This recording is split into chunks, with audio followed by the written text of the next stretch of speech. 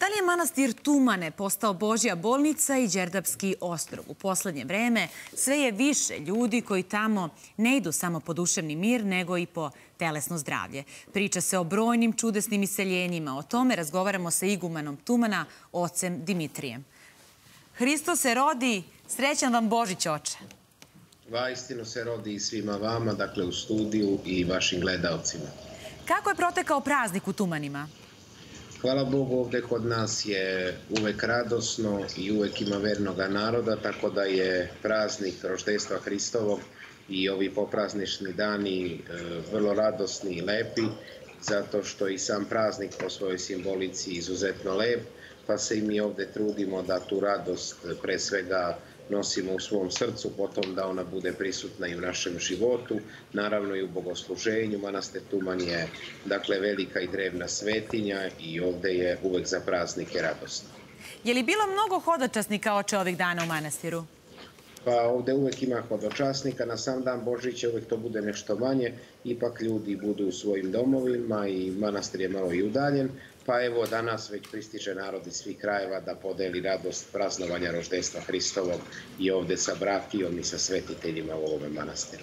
Od kad je počelo da se priča o čudima iz manastira Tumane, narod ne prestaje da dolazi. Na stotine hiljada vernika svake godine dođe u manastir Tumane. Da li vi znate bar približno e, broj vernika koliko godišnje poseti manastir? I šta je vaša tajna? Zbog čega narod u tolikoj meri dolazi u manastir Tumane? Pazite, kad govorimo o čudima Božijim, čuda Božija nisu ni Tumanska, ni Ostroška, ni, ni Jerusalimska, ni Svetogorska, nego su zaista čuda Božija jednostavno odnos Boga živoga sa čovekom, odnosno odnos čoveka sa Bogom.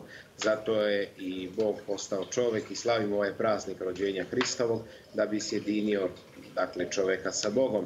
Hristos je postao dakle, budući Bog i čovek i ta čudesa koja se događaju u, u manastiru Tumanu jesu u stvari e, blagoslov Božiji za ovo vreme, da narod Božiji nađe utehu kod moštiju tumanskih čudotvoraca, ali ono što je važno da napomenemo jeste da nijedno čudo, ma kako ono bilo, ne može i ne sme da bude centar vere. Centar naše vere jeste zajednica i odnos čoveka sa Bogom za vreme, odnosno za večnost.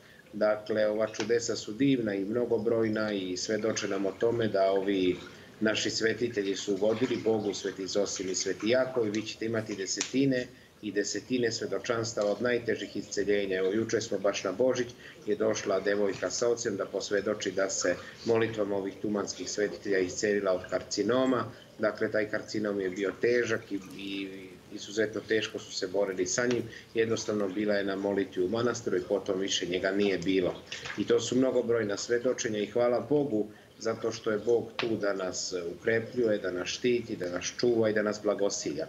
Ja mislim da kroz manastir Tumane na godišnjem nivou prođe između pola miliona i milion ljudi koji dolaze u ovu svetinju osjećajući upravo da je u njoj Bog prisutan.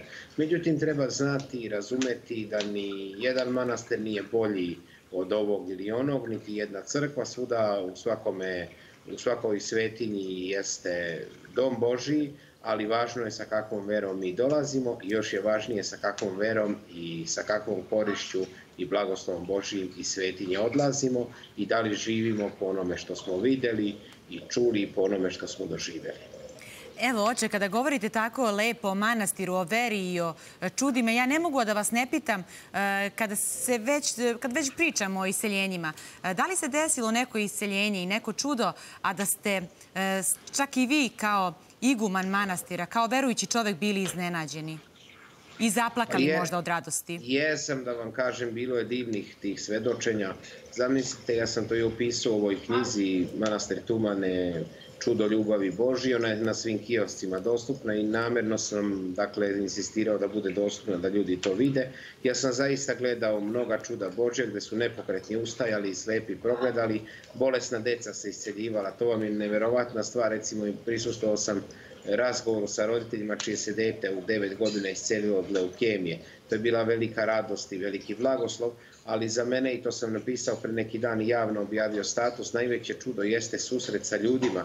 U 21. veku vam ne treba veće čudo nego da ljudi mogu jedni sa drugima, zato što se nekako izmenio odnos vrednosti, ljudi su postali samoživi i sebični i to kao poruku želim da uputim ovih dana. Ljudi, budite jedni sa drugim ime gospodnje, radujte se, volite jedni druge, praštajte uvrede, gledajte da budete istinski bližnji jedni drugima uz one koji nemaju, uz one koji su tužni, uz one koji su bolesni, jer na taj način ćemo i sa gospodom biti.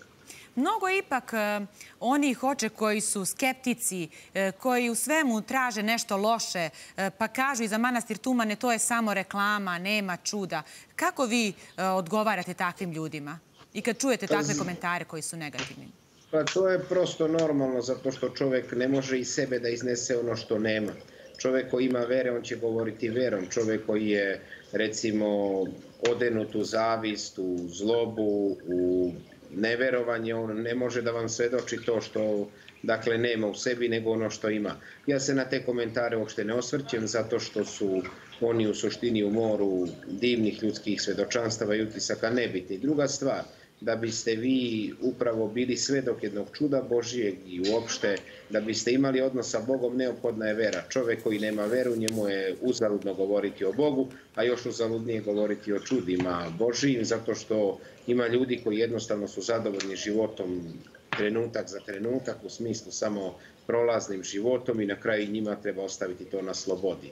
Važno je da ovaj manastir otvoren za narod svakoga dana i važno je da ovde zaista jeste dom Božiji i ono je lepota manastira Tumana, što je to zaista jedna narodna svetnja u kojoj ljudi dolaze sa svih krajeva, ne samo Srbije, nego i sveta, tražeći i moleći Boga i na po sili svoje vere dobijajući odgovor na svoju potrebu.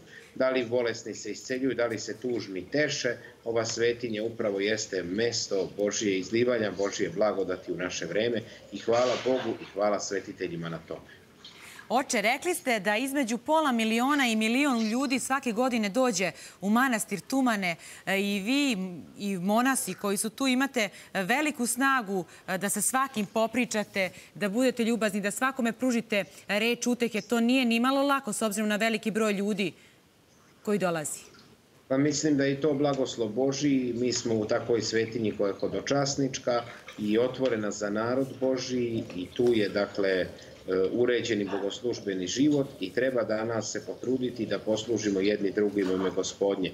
Gostoprimstvo je uvek bilo odlika Srpskog pravoslavnog manastira i mislim da to kao jednu istinsku i izuzetnu vrednost treba da sačuvamo i danas i da prenesemo generacijama koje dolaze. Hvala vam, oče Dimitrije, i nadam se da ćete uskoro doći u naš studiju da popričamo, e, da kažem, ovako sa manje razdaljine. Pa vrlo rado je to da se dogovorimo, pa bit će i to. Hvala i vama i neka gospod blagoslovi i vas i vaše gledalce. Radujte se ove dane, čuvajte se, vodite račun jedni od drugima, volite jedni druge u ime gospodnje, praštajte jedni drugima i neka mir Boži e, vlada i u srcima našim i u domovima našim i na taj način ćemo svedočiti da smo u zajednici sa gospodom i kroz gospoda u zajednici jedni sa drugima živeli na mnogaja i blagaja ljeta. Živeli, hvala vam još jednom. Bio je to iguman Dimitrije, iguman Tumanskog manastira.